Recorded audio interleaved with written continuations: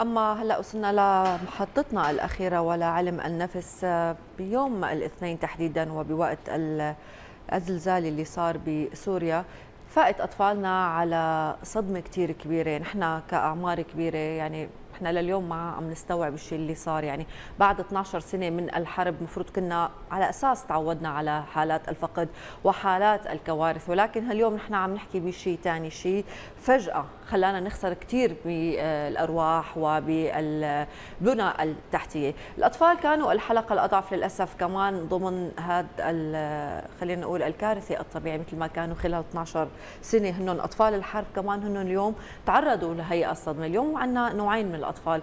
الأطفال اللي كانوا موجودين ضمن الحدث وشافوا وحسوا بهذا الاهتزاز وهذا الزلزال وشافوا بعينهم اليوم الأضرار. إن كان الأرواح وإن كان البنى التحتي وعندنا الأطفال اللي كانوا بعيدين ولكن شعروا بحالة الذعر. اليوم كل سوريا بهذا الوقت اللي ما في كان عندهم هي الهزة الكبيرة. حملوا أطفالهم وتوجهوا للشارع وكان في تجمعات كثير كبيرة من الناس. كانت اليوم آه، يعني اليوم هي القصة طبيعية وقت نسمع صريخ الناس بكاء الأطفال في حالة خوف غير مفهومة نحن ما كنا عم نفهم شو عم بيصير. يعني اليوم الأطفال هذا أرشيف جديد بحياتهم. امبارح وزارة التربية أعلنت عودة الدوام للمدارس من بدء من نهار الأحد يعني بكرة. ولكن هدول الأطفال في كثير حالات ما بدهم يروحوا خايفين يعني هاي الحالة حتروح معهم للمدرسة. اليوم شو دور الطب النفسي؟ اليوم كيف الأخصائيين النفسيين قادرين يخففوا من الصدمة عند الأطفال؟ رح نحكي بهذا الموضوع مع ضيفتنا لليوم الأخصائية التربوية ريما جحشاح. يسعد صباحك ريما والحمد لله على سلامتكم.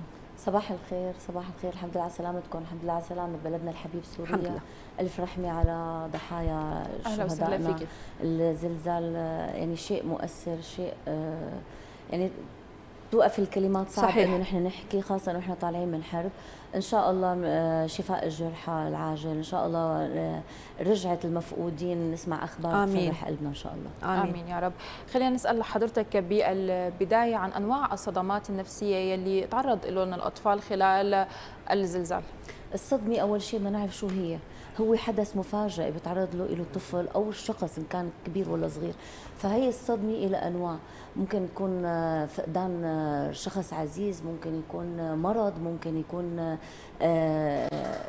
كارثة مثل ما نحن شاهدناها. طبعا نحن اخذنا حرب مدة 12 سنة فكمان هي تعرض للأطفال إلى للصدمة. ففي عندنا تواتر للصدمة شيء خفيف وشيء وسط وشيء عالي جدا.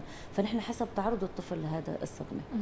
طيب إذا ذكرنا نحن في نوعين من الأطفال أطفال اللي هن بالمحافظات المتضررة يلي تم إعلانها من كوب هن تعرضوا لصدمة قوية يعني مباشرة. مباشرة لموضوع الزلزال. وفي كمان أطفال هن آه، ما حسوا بهذا الزلزال. مثل ما ذكرت رشا كانوا نايمين يعني. تمام. آه، بس يمكن فاقوا لقوا حالهم مع اهلهم خايفين بالشارع. أو لهلا خلال ستة أيام بعدهم عم يسمعوا عن أخبار الزلزال أو سمعوا عن يعني أو عم يشوفوا عبر السوشيال ميديا صور وفيديوهات. تمام. أو يمكن فقدوا أحد من من عائلتهم يعني. آه، أخبار يعني صار يمكن نحن الكبار ما قدرانين نتحمل نتوازن, نتوازن ونتحمل هذا الضغط خلال ستة أيام فما بالك بالطفل. فخلينا نحكي اليوم عن هالنوعين من الصدمات اللي تعرضوا لهم الأطفال كيف يتم التعامل معهم؟ الأطفال الموجودين بالأماكن المنكوبة هدول الأطفال لازم ينعرض لمرشدين نفسيين بشكل مباشر. ما بنقدر نحن نشتغل عن معهم من بعيد أو فقط آه، الأب أو الأم أو الأقرباء. لازم يكون في دعم من وجود أب أو أم. ما بنعرف شو الحالة اللي هن موجودين فيها. ما بنعرف مين فاقدين يعني إحنا بنوصل لمرحلة إنه الطفل هلأ بتبعدي عنه اللعبة اللي هو متعلق فيها فبيدخل بحالة نفسية. صحيح. في أعراض يتعرض إلى الطفل. هون بنبلش نحن نراقبه. هذا دور المرشد النفسي الموجود بالأماكن المنكوبه أكيد في لهم دور كثير كبير ومشكورين آه، اللي توجه فريق كثير كبير. نحن عم نتواصل مع بعض عبر group عبر الواتساب. عم نتواصل عم نشوفهم شو عم يشتغلوا هونيك. نحكي عم نبعث عم يصير في محاضرات بيناتنا طبعا خلال وزارة التربية مشكورين آه، عاملين group آه، آه، وعم نتواصل من خلاله. لكن هون شو هي الأعراض اللي بيتعرض لها الطفل لحتى تعرفي إنه هو طلع من الأزمة أو لا أو إنه بلشت معه؟ نحن قلنا إنه في أطفال بتتعرض للصدمة مباشرة وما بصير عندها رد فعل مثل ما لاحظتوا حضرتكم إنه في أطفال طلعت ما حكت ولا حرف في أطفال طلعت عم تضحك في أطفال طلعت في بكاء شديد في أطفال ما ما ما كان عندها رد فعل لاجى أحد الوالدين لعندهم لحتى بلشوا يحكوا كلمات صغيرة. فهون الطفل بفاجئنا بردة الفعل تبعه. صحيح. هذا دور المرشد آه، الموجود بالأماكن المنكوبة لحتى يتفاعل معه. آه، نقدر نخليه يحكي نقدر نخليه يعبر.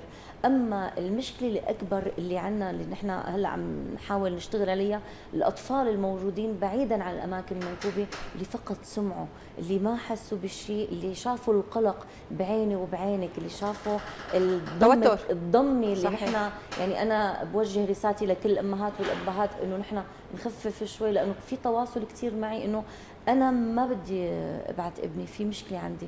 أنا ما عم بقدر نام زماني يمت بنتي أو ابني بحضني. للأسف هاي الحالات صرنا نشوفها اليوم. غيروا كتير. عادات حتى النوم يعني. مثلا كل واحد اللي معود ابنه بغرفه مستقله آه صاروا الكل عم بيناموا بمكان واحد.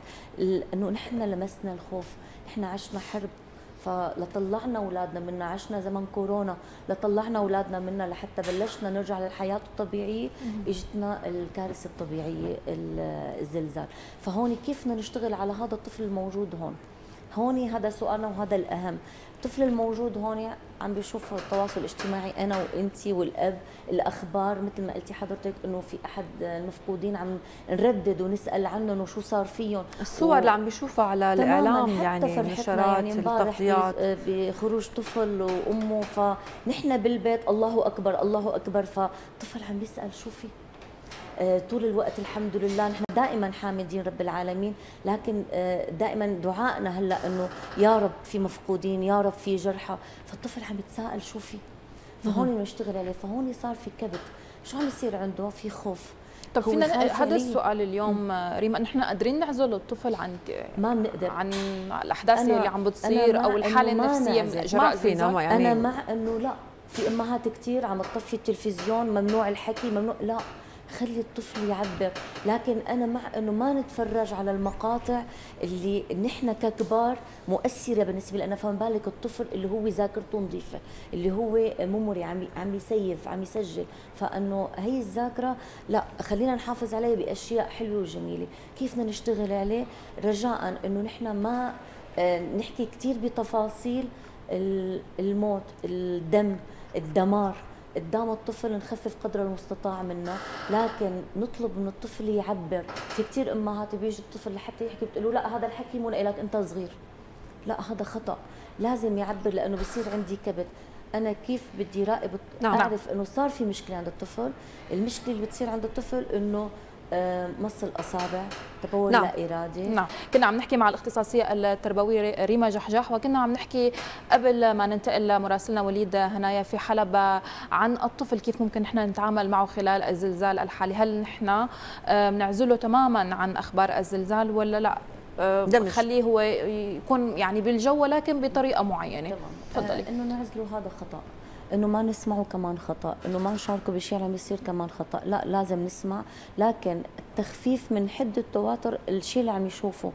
نحن ككبار عم يقلبنا هذا الشيء بشكل كثير كبير في حزن كثير كبير جواتنا فما بنقدر ننقله لطفلنا. لا أنا مع إنه نحن ما نتفرج على المقاطع مع إنه آه نحن اوريدي يعني ما في بالنسبة لموضوع التلفزيون أو شيء بس نحن عم نستغل الوقت اللي بتيجي فيه الكهرباء إنه فورا عم نفتح التلفزيون. صحيح. آه نحاول نقلب له الصورة. أفلام كرتون معلش آه مو إنه نضيع الصورة نهائي لا. لكن نخلي الحياة بقى تتلون يعني ترجع. الحياة بدها تستمر فنحن آه في حزن جواتنا كثير كبير بس في أطفال حتتراكم جواتهم هي المشاعر ورح يصير عندهم أشياء مبعثره ما عاد ما عاد يعرفوا يرتبوا أفكارهم. بنفس الوقت في إحساس الفقدان الخوف والقلق اللي رح يترتب عند الطفل. إذا انت فتحتي باب البيت وبدك تطلعي. إذا آه، أي يعني نحن بدنا نمارس الحياة الطبيعية بدها ترجع الحياة. طيب ريما فينا نعطي اليوم نحن أساسيات تعامل ضمن هذا الوقت. ان كان من حضرتكم كمختصين تربويين الإرشاد النفسي بالمدارس بالروضه مثلا. بكرة أولادنا راجعين على المدرسة وراجعين في قسم راجع غصب عنه يعني. أكيد. آه، اليوم إحنا كيف قادرين نتصرف؟ كيف قادرين نكون في تشاركية بين المدرسة والأهل لنحن ندفع هذا الطفل يرجع لحياته الطبيعية؟ في عندنا خطة بدنا نمشي عليها هلا أنا بلشت فيها تقريبا لي يومين خبرينا عنها ببعث عبر جروب الواتساب لطمأنة الأم. نعم. مدى آه، كانت الأم مطمئنة فهذا انتقال طمأنيني رح يروح للطفل. فهون إنه نحن آه، الثقة فينا تكون كبيرة تعاون نحن بيننا وبين بعض. أي مشاعر مختلطة صارت عند الطفل الرجاء إعلام المدرسة فيها إعلام الكادر فيها لحتى نحن نتجاوزها.